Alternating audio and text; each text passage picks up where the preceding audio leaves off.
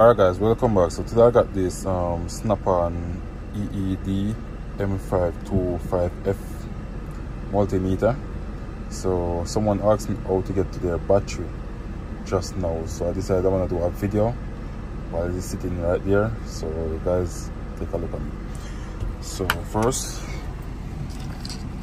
this piece come from the back. So you have to remove this cover so you pull this screw in the back. I also got two on here so you carry two screw in the cover guys. So you go inside here. And all you have to do what to do is just um pull the screws and slide it out of this slot right here just like that guys. And then the battery go right here.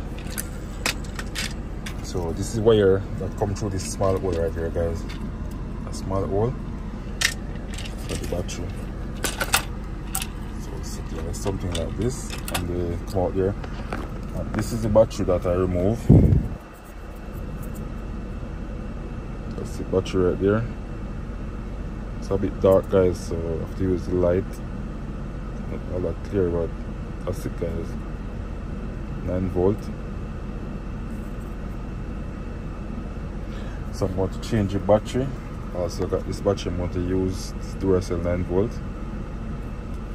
Change it.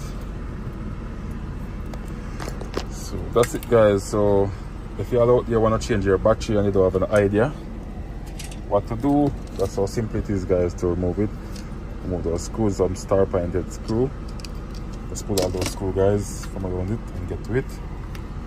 That's it Right.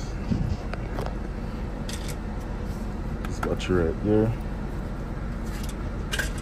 This is the old one. And this is the other piece of cover.